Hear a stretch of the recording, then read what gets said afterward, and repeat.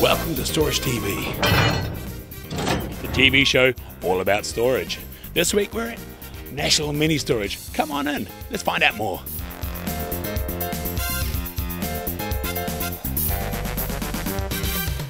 Well, I'm here with Ailsa. We're outside box five.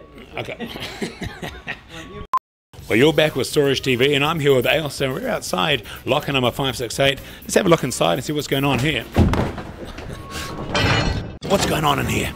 Well, my brother passed away and a lot of his furniture got put in there. The family home got cleared out, so we popped it in storage for a little while just to be properly sorted out. Oh, it's very easy because it's nice and close to where I live, and so I can just pop down here anytime and get something I want.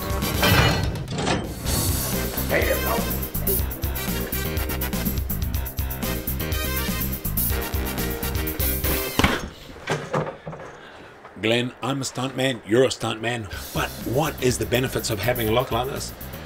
Oh well, I mean, I get to kind of store the stuff that I don't get to around house, and especially weapons and, and things like that. I don't want to store at home. It's kind of secure and safe, and so no one's going to steal my stuff again. This is what we'd probably call the Hazentaha, which is the Japanese lance. Um, actually, no, that's a, a yari, but that one in particular is a, is a Chinese wushu spear. The wushu spear, or, or you could call it that, I suppose. That's also definitely a wushu spear. And your hangishi um, swords there, and your you, you've got the Brother 2000 up there, the, the photocopier slash um, printer. Yeah, um, it's a good, good printer. You've got a storage locker! You got a storage locker! Coming up on Storage TV, I meet a lady who's hoping to get back into hockey. We meet a guy who's storing a car, and a guy who stores paint. That's on Storage TV. I'm here with Jesse and Gavin, smooth movers. Fellas, talk us through it. Basically, you get stuff out of the truck there, people's lives, you're putting in there, you're moving in and out. Must be sort of uh, pretty interesting. Yeah, you try to take as much care as possible at all times, and I mean, it's a good facility to work at, good lifts, good security, everything. Uh, You must have moved some pretty interesting stuff in, in, in your day. Uh, yeah, I'd say for sure. Um, been doing this a number of years now, and uh, yeah, I remember one time a lady said, uh, "Yeah, please be careful with that box. My husband's in there," and, and it was his ashes, and uh, it was like, wow. So, uh, So he was dead. His ashes. His ashes. Yeah, yeah, for sure. So Glenn, you're obviously on Storage TV here, and you've got these here, these um, your boards obviously for breaking that kind of stuff.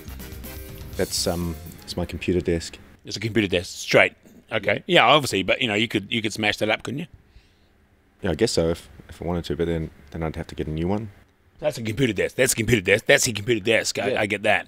We know that. You know, we're not idiots. Well, that's clearly a computer desk, and this is all the other other crap in here.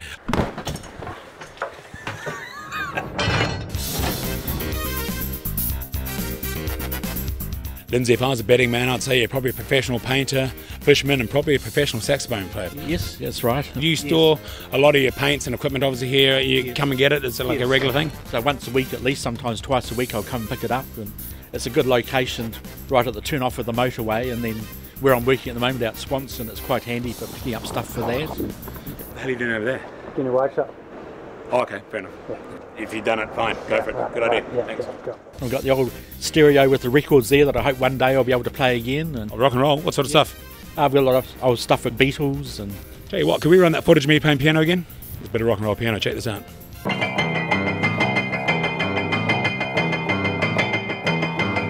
Stuff the ending up there, obviously, but you know, normally I'd, the piano's a bit out of tune, but um, it's all here. I'm here with my old mate John. John, you're running for the old MX5. I've never met you before. No, it's more of a TV thing. You don't have to. It doesn't matter if we've met before. It's more oh, familiarity. Okay, so it's basically, you know, my old mate John. But you know, it's kind of, you know, Yeah, yeah. the MX5. Tell me about that. Yeah, got roll cage in it. It's got competition harnesses, special shock absorbers and things, and I use it in all the auto crosses and hill climbs, and generally have fun. It's my toy. And I'm guessing it's the sort of toy you can't really store at home. Nah, you don't want to store it outside or anything. I need it garage, and I haven't got a garage. And keep this nice and dry here, and um, otherwise would be out in the weather. The old MX5 should be on about, should about, what's she, about a 4.7 is she? Uh, capacitors? Or the old kilojoules, It's got 1800 motor in it, 1800 obviously. I mean, I mean 1800 litre 1800 cc. CCs obviously, but GB in like 19, 1980, 1990. 1990. Yep, definitely. Running the running the uh, running the engine in the front there, obviously. Yep, yep. And you'd, you'd obviously be chucking the fuel in from the right. Left actually. Left actually. Left. Oh, and this one you uh, you could you could easily put the hose right over there if you wanted. Yeah, you can. Yeah, you can. Yeah. It's um good. All right, thanks, John. Fantastic. All the best for that. Okay, awesome. thanks. Thanks, Corey. That's another episode of Storage TV right here at National Mini Storage. See you next week.